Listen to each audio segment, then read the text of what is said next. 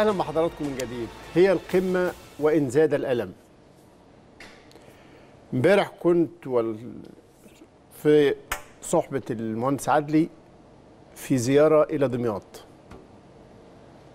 سعدنا فيها جدا بحدثين.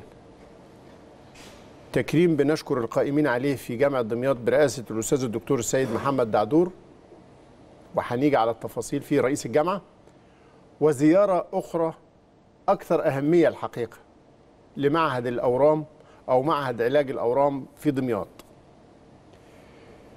شيء غريب جدا. الناس في شدة الألم وهي داخل هذا ال ال المعهد الحديث عن القمة والاهلي وازاي عايزين يطمنوا. ده في مكتب الدكتور محمد زين مدير المعهد لكن هتشوفوا لقطات بين الناس بين الناس وأسر المرضى الناس أهالينا وإخواتنا الناس اللي بيتعالجوا قد إيه وهم بيتألموا دمياط يا جماعة عشان تكونوا عارفين محافظة تقريبا متقفلة أهلي. قد تزيد نسبة الأهلاوية فيها عن 98% من المتحمسين جدا للأهلي. متحمسين قوي. باشمهندس إيه هذا الارتباط الغريب؟ بداية لازم نتكلم دقيقتين ثلاثة عن دمياط نفسها وعن رأس البر. امم وقد إيه إحنا مقصرين في حق نفسنا. امم يا جماعة أنا اتفرجت على دمياط وأنا ماشي وأنت كنت معايا. حتى دمياط القديمة قبل ما أروح الجامعة في دمياط الجديدة دمياط الجديدة دي عاملة زي التجمع الخامس شارع التسعين. آه. من الفخامة والعظمة والمعمار والنسق المعماري اللي ما فيهوش شذوذ. حدش. يطلع دور زيادة ولا دور أقل.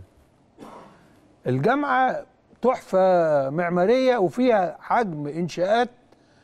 آه وأنت شفت الدكتور آه، دعدور. آه دعدور وهو بي بياخدنا واحدة واحدة كده طريقة الماتش بماتشه مشينا مشوار طويل. صحيح شغال آه. يعني وزير إسكان ورئيس جامعة. عشان أكتشف إنه الجامعة مثلا الطاقة بتاعتها 10000 طالب بيزود مباني تس- تستوعب 10000 مم. زيهم آه لما رحنا آه، طبعا حاجة مبهرة. لما رحنا ال ده ده في. الملعب الإيفنت آه. اللي كانوا حريصين إن إحنا نفتتح كان في مباراة نهائية تلعب ضربة البداية بتاعته ضربة البداية بصيتها لك وأنت قلشتها ده الدكتور يا جماعة ده الدكتور آه، السيد محمد دعدور رئيس الجامعة. شاب صغير. بتاعه بس يعني إيه الحماس والعلم والرغبة في النجاح؟ طبعا عايز أقول حاجة علشان يمكن المهندس عادل ما يقفش عندها. اولا ملك وكتابة ساعدنا جدا جدا إن البرنامج له من التأثير والجمهور ما فاق توقعاتنا الحقيقة. المهندس عادل القيعي وده لازما آه، يشكر عليه كل أبناء دمياط في كل مكان نروحه عايزين يحتفلوا بعيد ميلاده. تقريبا عملنا عيد الميلاد مرتين ثلاثة يعني أنا. أنا حاجة تكسب. يعني قلت لهم يا بقول لك إحنا ما إحنا شفنا في البرنامج وعرفنا إن ده عيد ميلاده. فهتلاقوه في الجامعة. الدكتور آه، السيد دعدور كان حريص إنه يجيب التورتة ديت ويحتفل على المنصة بعيد ميلاد المهندس عدلي. كان في كرم وحفاوة في كل مكان رحناه يا أستاذ إبراهيم. صحيح. آه يعني خيالي. صحيح. آه أخونا بقى ال- احتفال ال- آخر الاهلاوي. الجميل محمد الدهيري. يعني نموذج للأهلاوي فعلا الجميل قوي. في كل مكان هتلاقيه حريص على ال- الأهلي. هو اللي. بالقميص الأحمر. وهو مجرد رجل ما شافنا جايب التورتة. قال لك علشان عيد ميلاد المهندس عادل وما بيسيبش فرقة تروح من الأهلي. دمياط ناشئين أي لعبة إلا لازم يكون معاها. هو نفسه كان عنده تجربة استثمارية آه. كان أحد رعاة نادي دمياط وكاد أن يصعد به يعني. ميت الخولي وصل آه. ب 100 الخولي لمباراة تصفية للصعود آه. وهو ملقب حتى وزير الرياضة في دمياط الكل بيناديه وزير بيقول لك ال- الأستاذ آه الأستاذ ناصف سليم عليه رحمة الله عنده صلة معاه فكان مسميه وزير النادي الأهلي في دمياط من شدة حماس محمد الدهيري للنادي الأهلي نماذج أهلاوية رائعة جدا اتفضل يا باشمهندس ال ال عشان ندي البلد حقها لأن الناس إحنا متأخرين قوي في معرفة بلدنا. أيوه. وفي تقصير من البلاد دي في حق نفسها. أيوه. أنا يعني كان الأستاذ سيد العزبي أحد الدعاة لهذا أيوه. الدكتور سيد العزبي. أيوه. بيصر بقاله مدة ما تيجي دمياط ما تيجي أنا هوريك راس البر أنت مش هتصدق راس البر. بس هو من كتر ما شرح على على راس البر أنا مستعد أشوف مفاجأة. أيوه. لا أنا من اللي شفته بقى تعدى المفاجأة. أيوه لأن بلد متنظمة تنظيم وأنت شفت الشوارع. مسطرة. الشوارع. مسطرة. البيوت واقفين زي ما يكون طابور عسكري. أيوه بالطول والعرض تقف من الشارع ده تشوف آخره تقف من الشارع ده تشوف آخره. لا يمينك خطوط- تشوف البحر وشمالك تشوف نهر النيل. وده ده بالإضافة. يعني زائد إن- معجزة. إحنا هنا لايصين عايزين نمنع ال- في القاهرة دخول العربيات في وسط البلد. الكورنيش واللسان ممنوع دخول العربيات. آه. انضباط كامل. نموذج سياحي. البلد ما. فيهاش ورقة مرمية في الشارع. أيوه انت أنا ما صدقتش. يعني أنا رحت في بلاد في أوروبا مشهورة جدا يعني. أنت قلت. لهم ده كان يعني ده آه. ده بالظبط أنا في كان في آه فرنسا. يعني ليه ليه الناس ما تعرفش حاجة عن رأس البر؟ ما بتشوفهاش حتى في الصور. ليه مسلسلاتنا وأفلامنا ما تتصورش في بلادنا؟ نفس الانطباع أستاذ إبراهيم جالي لما رحت الأقصر وأسوان في الكروز بتاع النيل ده. جمال في الطبيعة ولا جزر الكاريبي. يعني حاجة ليه غايب على العين صحيح؟ ليه إحنا مقصرين جدا؟ إحنا انطباعاتنا إن الريف ده فلاحين وقاعدين وقاعدين على الساقية وقاعدين على أدي اللي بنشوفه في أفلامنا. لكن الجمال ده كله الرقي ده كله شفت متسكعين؟ خالص. شفت حد قاعد على القهوة ما بيعملش حاجة؟ لا ما هي دي بقى ال- اللي لازما يحيى فيها الضمايطة.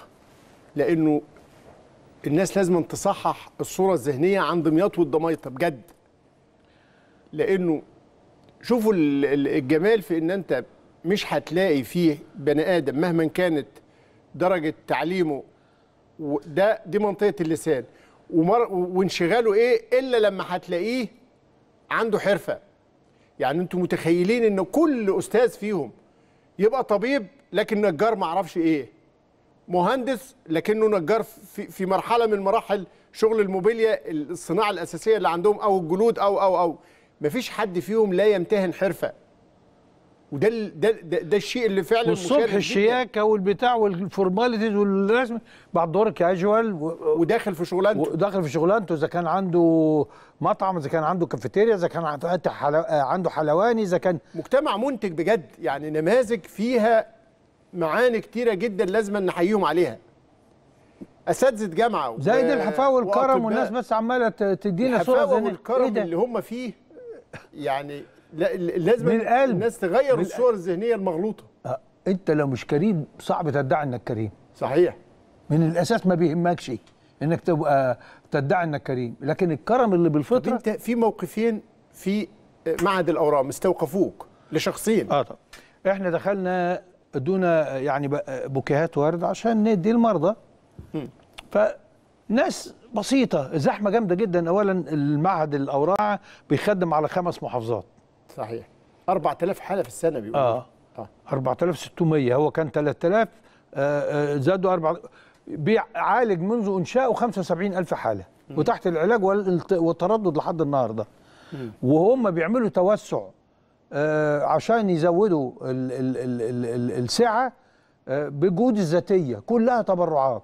آه. من من الحاجات الجميلة جدا اللي حكوه لنا أستاذ إبراهيم لما قالوا لنا آه، دفعة كذا.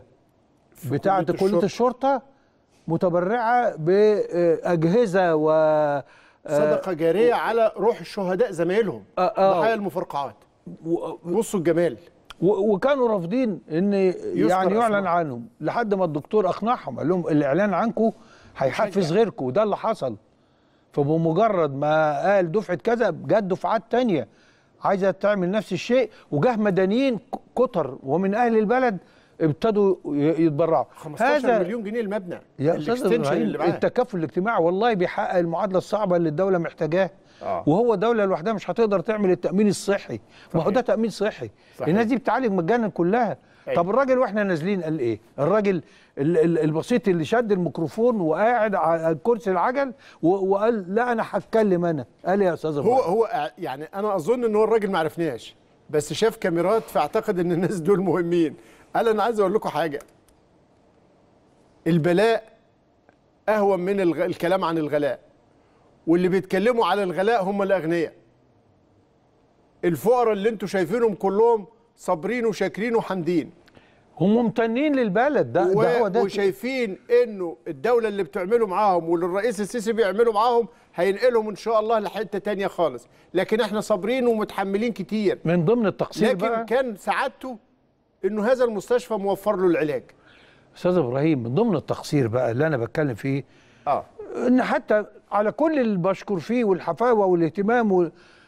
طلبنا قد إيه الفلاشات بتاعت الحاجات دي تجيلنا بالكواليتي اللي نقدر ناخد منها من أفواه الناس الكلام ده. صحيح. طب الأستاذ الحاج أنور إسماعيل. إسماعيل اللي بتدي له ورده قال لك إيه؟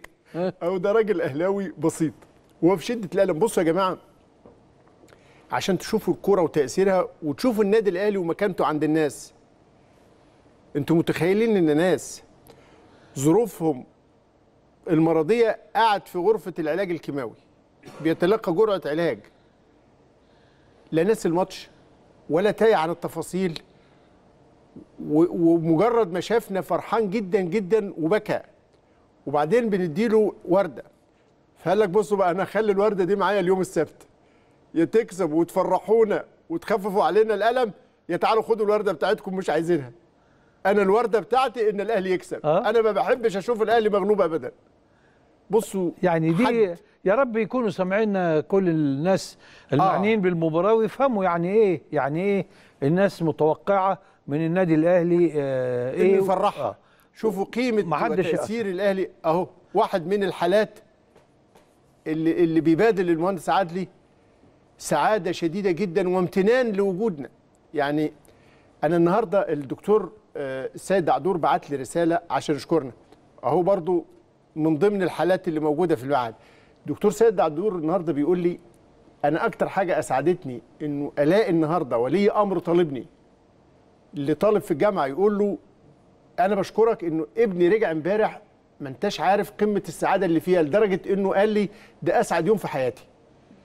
الجملة دي سمعناها يعني وهي فيها قدر طبعا ممكن يكون من المبالغة لكن آه، لا الاهلي كبير قوي ومكبرنا معاه في كل حتة أيوه الاهلي كبير يا جماعة جدا واستحق مننا إن إحنا آه، وإيه المسؤولية الاجتماعية على؟ قدر المسؤولية. التواصل, التواصل بقى طب آه يعني أنا كنت أتمنى يكون عندنا ماتيريال أكتر من كده صوت وصورة مم. عشان تسمعوا الناس بتقول إيه آه الزيارة دي من كتر ما الناس آه يعني أنا حسيت إن أنا يعني ليا صفة رسمية ولا إيه؟ ولا أنت من كتر الناس بتحملنا ها؟ رسائل وتحملنا أمانات و- و- و- وحاسين يعني إيه ملك وكتابة موجود عندهم وقناة الأهلي والنادي الأهلي و وقالوا لي كلمة ولذلك أنا يعني بطلب من أي واحد يطلب منه عمل مجتمع ألا يتردد. بالظبط. آه، الدكتور الزملكاوي صاحبك جه قال لنا إيه؟ قال حمدان لنا ربيع. الدكتور حمدان ربيع آه ده عميد كلية الآثار في جامعة دمياط وهو صديق الحقيقة صديق من أيام الجامعة. يعني كنا سوا في المدينة الجامعية ودايما في مناكفة هو زملكاوي طبعا الدكتور حمدان لكنه كنا من أيام الكلية في مناكفة أهلي وزمالك. فأنت شفت قد إيه هو لازال برضه حتى وهو زملكاوي بيتكلم على الاهلي إزاي لا يعني أهم جملة قالها آه. قال إحنا نشكركم آه. إحنا دعينا ناس توسمنا فيهم إنهم من أهل الخير مشاهير ورفضوا أيوه فكونكم ده هنا جيت له الدكتور السيد دعدور بيكرم المهندس عادل القيعي وبيهديه درع الجامعة آه، وبيشكره على حضوره ومجيئه لل- لل- للندوة اللي حملت عنوان المشاركة المجتمعية للرياضة في خدمة المجتمع. الدكتور حمدان اهو جنبك دكتور اهو حمدان ده اللي ورا مني على طول. آه إحنا بس مش عايزين عشان إيه ممكن نخرج بره ال- السياق بتاع ال- ال- الجماهير. آه. آه، مستنيين إحنا ليه بنقول لكم ليه مستطردين في الحديث عن دمياط وراس البر لأن بلد جميلة ما حدش فاهمها ما شافها ما شفناش صح ما اتنقلت لناش صح. راس البر مش بلد جميلة بلد شوف الحماس. شوف حفاوة الجمهور. طب شفت في الانضباط؟ حدث شفت الانضباط في السقف تسقيف والنظام؟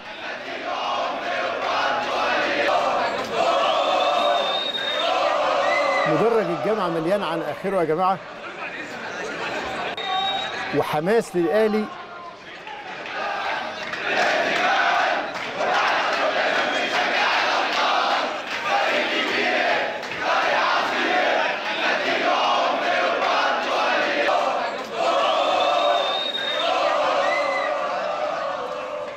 طبعا كانت اللقطة المضيئة جدا في في ال- في المدرج طلبه من مدرسة النور لرعاية المكفوفين.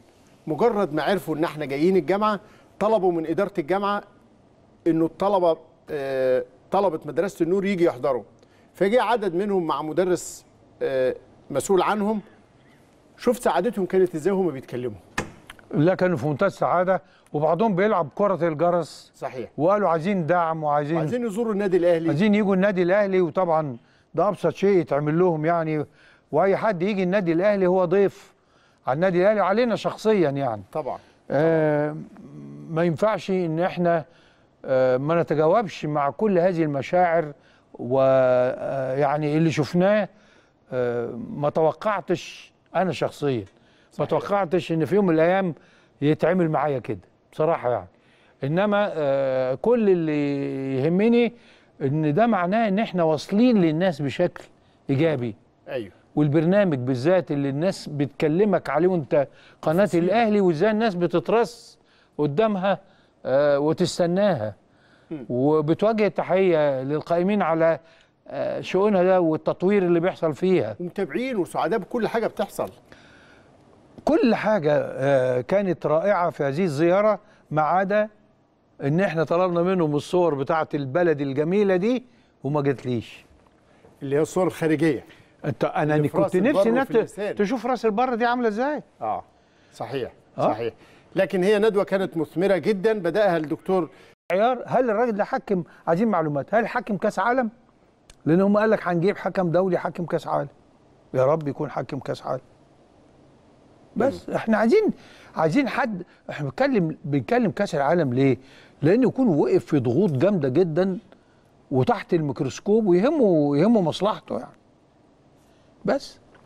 نتمنى وهنشوف طبعا المزيد من التفاصيل لأنه أنا متأكد إنه كل المواقع هتبدأ تشتغل على هذا الاختيار. هيبدأ التنقيب في تاريخه ومس- ومسير مسيرة حياته كل الأمور الفنية الخاصه بالنسبة له المباريات اللي أثارت جدل وأدارها هتلاقوا من هنا لغاية يوم السبت إن شاء الله كلام كتير حوالين الحكم الروماني إيه حكايته إيه قصته إيه مشاكله إيه شخصيته. مؤكد إنه هيخضع لنوع من التشريح الفني التام. لكن نتمنى ما دام ده اختيار اتحاد الكورة نتمنى إن هم يكونوا كانوا موفقين في اختيار مجرد عن أي ارتباط آخر. هنطلع لفاصل وبعد الفاصل هنقول كلام مهم جدا عن القمة لكن في مكان شديد الألم. بعد الفاصل.